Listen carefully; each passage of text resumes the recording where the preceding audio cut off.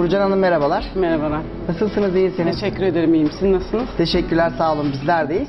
Öncelikle bizleri burada misafir ettiğiniz için çok teşekkür ederim. Çok sağ olun. Ben teşekkür ederim geldiğiniz için. Bizim için büyük bir keyifli sizleri ziyaret etmek. Ben röportajıma öncelikle Nurcan Hanım'ı tanımakla başlamak isteyeceğim. Nurcan Hanım kimdir? Ee, bu sektörle tanışma hikayeniz. Ee, 1979 Sakarya doğumluyum. Evet. Ee, sektörle tanışma e, aslında uzun bir hikaye ama kestirmeden anlatayım. Bir Bu kere aşıksınız siz. Evet. e, bu işe aşığım. Normalde meslek olarak zaten ben bu işi yıllardır yapıyordum. Evet. Ve bunu e, hayal ettiğim bir şekilde insanlara sunmaya karar verdim. Yaptığım lezzetleri, değişik tatlar. Evet. Bu şekilde bir yer kurmaya karar verdim ve kurduk çok şükür. Çok da iyi ilerliyoruz. Evet. İnşallah daha iyi olacak diye düşünüyorum. Ki alışılagelmişin dışında bir konsept oluşturmuşsunuz burada. Farklılık getirmişsiniz yani. Ya hayal ettiysem ne o onu yaptık aslında. Farkımız evet, birazcık böyle hani 80'ler 90'lar karışık bir konseptimizi yaptık. Evet. İnşallah beğenmişsinizdir. İnşallah keyifli. müşterilerimiz çok memnunlar. Gayet de e, böyle e, keyif alıyorlar buraya gelmekten. Evet. E, fotoğraf çekiliyorlar bol bol. Bu da bizim çok hoşumuza gidiyor. O zaman biraz burayı tanıyalım mı? Neler yapıyoruz burada? Yani gelen konuklarımız, misafirlerimiz ne gibi lezzetlerle karşılaşıyorlar burada? Rızgara ve kahvaltımız var bizim. Ee, bir de spesiyel bir tatlımız var. Çilekli milföy olarak geçiyor. Ve Evet. müşterilerimiz de çok beğendiler. Değişik bir tat. Biz de tatlık röportajdan önce çok güzeldi gerçekten. Afiyet Ellerinize sağlık. olsun. Yani ızgara ve kahvaltı olarak devam ediyoruz şimdilik. İlerleyen zamanlarda değişik spesiyeller düşünüyorum. Evet ama tabii zamanla. Tabii zamanla olacak. Evet ama hizmet sektörü zor bir sektördür Nurcan Hanım. Yani yapılabilecek hatalar çok ciddi sonuçlar doğurabilir. Sizin olmazsa olmazlarınız neler? Nelere dikkat ediyorsunuz? Ya peki? bizim için en önemli olan şey güler yüz. Yani bir de e, yani biz ekip olarak gülmeyi de çok seviyoruz. Çok eğlenceli bir ekibiz. Evet. Yani en iyisi neyse onu yapmaya çalışıyoruz. Hani olmadı bir daha, olmadı bir daha. En iyisini yapmak bizim işimiz diye. Yani hatayı en aza düşürmeye çalışıyoruz.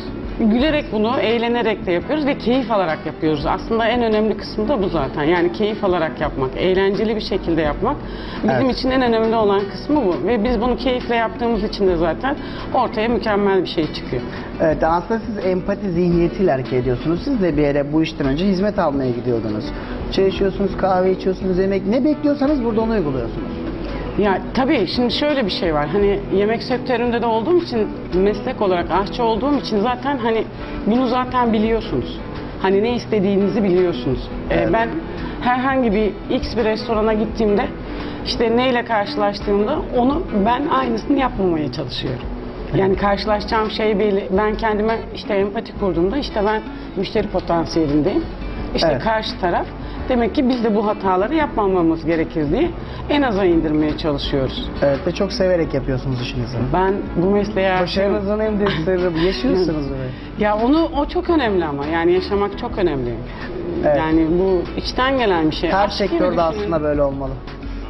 Ama bu meslek biraz farklı. Yani aşkla ilerliyor. Yani severek yaparsanız zaten hiçbir Evet. problem yok. Kesinlikle ve eşsiz bir manzara var burada. Evet, Sakarya Doğaya manzarası. başa. Evet, doğayla iç içeyiz. Ee, sloganımız da keşfet. Evet. Yani hem şehirden uzak hem şehre yakın. Yani rahat, huzurlu, şehrin gürültüsünden uzak, keyif alabileceğiniz Ya bir yer. klasik bir tabir olacak ama saklı cennet diyebiliriz aslında. Yani diyebiliriz. Diyebiliriz. Saklı masal bahçesi desek daha iyi olur. Tam uygun olur. Aynen. Peki organizasyonlar yapıyor musunuz burada çeşitli? Bahsetmek Tabii. isterseniz dinleriz. Yani e, kahvaltı organizasyonlarımız oluyor. Evet. İşte toplantı yemeklerimiz oluyor, doğum günlerimiz oluyor, evlilik tekliflerimiz oluyor. Evet. İşte bizim kapasitemiz belli zaten. 500 kişi ağırlayabiliyoruz. Aynı anda 500 kişi. Aynı anda 500 kişiyi ağırlayabiliyoruz. Kahvaltımızda 200, 220, 250 kişiyi ağırladık. E, Akşam yemeğimizde keza aynı şekilde. İşte doğum günlerimiz çok özel ve güzel geçiyor. Bunun için elimizden gelenin en iyisini yapıyoruz. Tabii Evet. bunlar müşterilerimizin istekleri doğrultusunda ilerliyorlar. Çok iyi bir şey istiyorsanız çok iyi bir şey yapabiliyoruz. Arz Bununla talep alakalı. dengesi aslında biraz. Arz talep meselesi. Tabii tabii nasıl istediğinize bağlı. Havai fişekli gösteri de yapabiliyoruz. Ee, yazılar da yazabiliyoruz. Çok mükemmel bir organizasyon içinde hep beraber. Bu ekip işi birazcık da. Yani ekip arkadaşlarım çok güler yüzlü, çok neşeli. Bir de çok heyecanlı onlar da bu tür şeylerde. O yüzden çok iyi bir şey çıkartıyoruz ortaya. Evet ve aile yeri bu da hissediliyor. Yani içeriye girdiğiniz andan itibaren bu samimiyet hissediliyor yani. İnsanlar evlerindeki bulduğu rahatlığı burada bulabiliyorlar diyebiliriz. Ama biz küçücük yürekleri olan kocaman bir aileyiz zaten. Diyebiliriz evet. Aynen öyle. E, Daha çok yeniyiz aslında. Çiçeği burnundayız yaklaşık iki buçuk aylık bir süreçte. Nisan 1 2018 18. açılışımız. Evet. Ee, yaklaşık iki buçuk ay oldu ama biz bu iki buçuk ay içinde e, çok iyi yerlere geldiğimize inanıyoruz. Çünkü çok büyük organizasyonlar aldık. Evet. Dediğim gibi az önce 250, 300, 150 bu tür grupları ağırladık ve çok çok da iyi geçti. Evet. Ulaşabildiniz mi hedeflere peki? İstediğiniz Hedefimin, e, hedefimin üstünde çıktı aslında. Yani beklentimin üstünde. Bu kadarı aslında iki buçuk ay hani çok kısa bir dönem. Bu kısa bir dönemde ben bu kadar beklemiyordum açıkçası. Hani çünkü yeni bir mekan, e, keşfedilmeyi bekleyen bir Evet. mekan. O yüzden hani benim beklentimin üstüne çıktı. E, bu bizi biraz daha işte güçlü kılıyor, biraz daha neşeli kılıyor.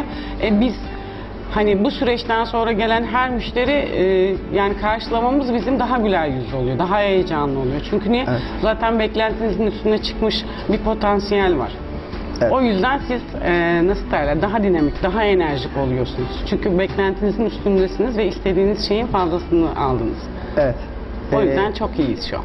Bu hedefleriniz yolunda başarılar dilerim sizlere. Ben teşekkür ederim. Buradan son size. sözlerinizi alın mı? Buraya gelen misafirlerinize, ekran başındaki izleyicilerimize, yani tüm Türkiye aslında neler aktarmak istersiniz? Son sözlerimizi aldıktan sonra da röportajımızı yavaş yavaş sonlandıralım. Buyurun. Masal gibi bir yer istiyorsanız masal bahçeme beklerim. Biz sadece keşfedilmeyi bekliyoruz. Keşfedin. Evet, biz de herkesi buraya davet edelim. En azından bir çay içmeye, bir kahve içmeye, tanışmaya davet edelim. Çilekli milföy yemeye davet edelim. O zaman öyle diyelim. Bunları da buradan ekran başındaki izleyicilerimize hatırlatmış oldum. Ben vermiş olduğunuz değerli bilgilerden dolayı çok teşekkür ediyorum teşekkür Nurcan Hanım. Başarılarınızın devamını diliyorum. Teşekkür ederim. Çok sağ olun.